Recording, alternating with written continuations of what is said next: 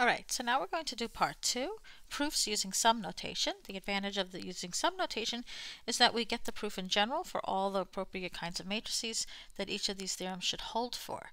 So before we can do the proofs using sum notation, we need to write down the definitions that we can use in order to do our proofs. So let's recall, review, first our sum notations. The first is that we had here in the previous lesson that when you multiply matrices, we have this up here on the upper left here is our definition for what the product looks like. So I'm just going to write that. A times B, typical entry,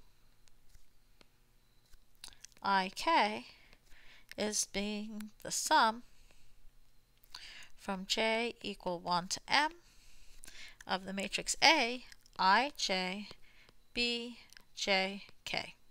So again, the counter I'm going to do in red, just to really emphasize it. The counter J equals 1 to M. A, I, J, B, J, K is because we're going across the row of A, across the row of A, and down the column of B. Okay, so that's what's happening. That's what our counter is doing. So we're going to have our matrix A. I'm going to just draw it in purple for a second. Our matrix A. We're going to go across the ith row of A. ith row of A. What is the ith row of A? It is A. I'm going to give us a little more space so I can write this. The ith row of A is AI1, AI2, up to A, I, M. That's our ith row of A and its counter. We're going across the ith row. The counter is 1, 2, up to M. That's the J's. And then we're going to go down. We're going to go down the kth column of B. So going down the kth column of B,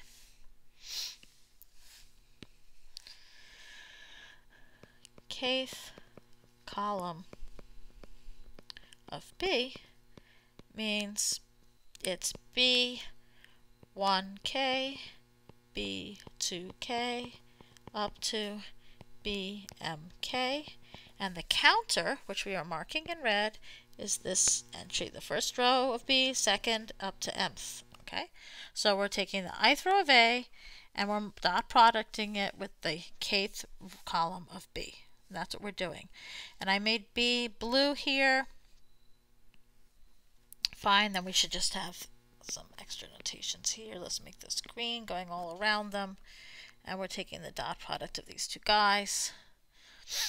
And I just want to emphasize Okay, so everything's emphasized. I think we have everything that we need to know about the product of two matrices written in sum notation.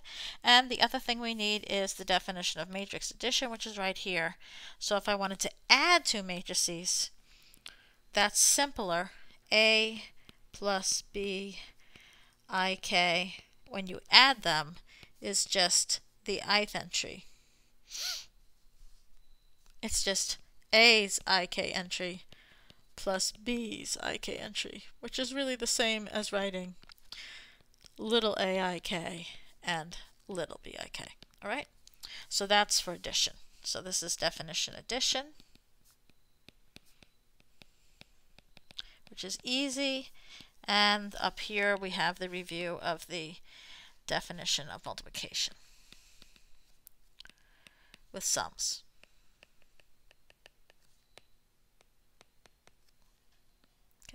And we're going to use these two definitions in order to do our